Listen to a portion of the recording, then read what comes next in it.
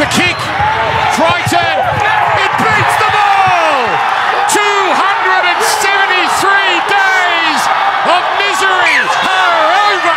The Wests Tigers have come to Bathurst against the odds, and they've done it against the two-time defending champions!